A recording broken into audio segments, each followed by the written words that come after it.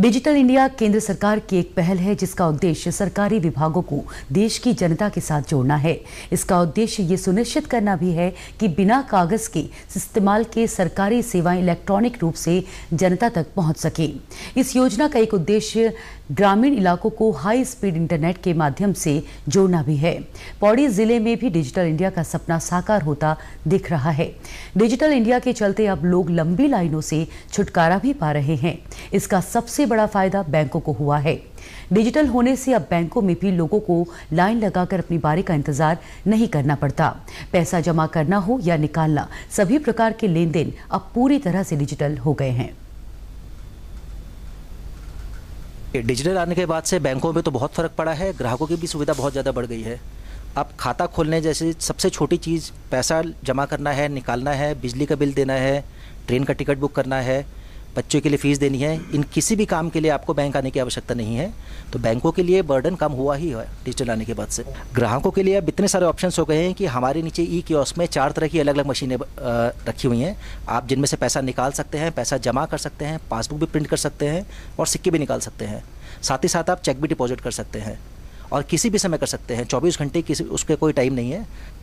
सरकारी विभागों के द्वारा डिजिटल प्रक्रिया को अपनाने से लोगों को अब घर बैठे अपने सरकारी बिलों का भुगतान करने में बड़ी मदद मिल रही है, जिससे समय की बचत होने से वे राहत महसूस कर रहे हैं। हाँ जब से डिजिटल शुरुआत हुई है, हम, मैं अपने व्यक्तिगत जीवन की बात करूँ तो मैं खुद ऑनलाइन ट्रांजेक्शन करता हूँ, चाहे पैसे ट्रांसफ़र करने हो, चाहे घर का रिचार्ज करना हो, या फिर बिजली का बिल या पानी का बिल जमा करना हो। तो पहले जो है हमें बिजली के बिल के लिए या पानी के बिल के लिए लंबी लंबी लाइन में खड़ा होना पड़ता था, या पैसे जमा करने हैं तो बैंक की लंबी लाइन में लगा रहना पड़ता लेकिन आज डिजिटल से हमें फ़ायदा मिल रहा है कि हम अपने घर बैठे बैठे लोगों को पैसे ट्रांसफ़र कर देते हैं, अपने बिजली का बिल जमा कर देते हैं। तो कहीं ना कहीं डिजिटल से जो है कि आम आदमी को काफ़ी फ़ायदा हो रहा है। वहीं सामान्य सेवा केंद्रों से भी लोगों को बड़ी राहत मिली है। लेन देन के साथ ही अपने आवश्यक दस्तावेज़ बनाने के लिए इन केंद्रों की मदद ली जा रही है। केंद्र सरकार ने पूरे देश में सामान्य सेवा केंद्रों की स्थापना करके आम लोगों को बड़ी राहत दी है।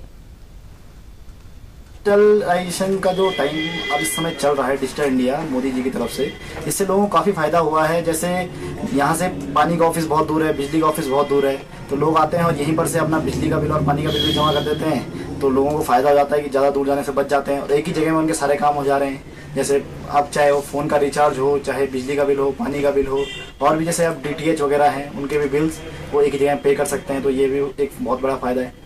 और डिजिटल इंडिया से कहीं ना कहीं हम लोगों को भी फ़ायदा हुआ है, क्योंकि एक आमदनी का स्रोत बढ़ गया है डिजिटल इंडिया के माध्यम से। जैसे सीएससी सेंटर्स हैं तो हमें बिजली के बिल में एक बिजली के बिल में छह रुपए तक कमीशन मिलता है तो उससे हमारी भी आमदनी बढ़ी है। ये एक महत्वाकांक्षी योजना है जो सभी को फ़ायदा पहुँचा रही है।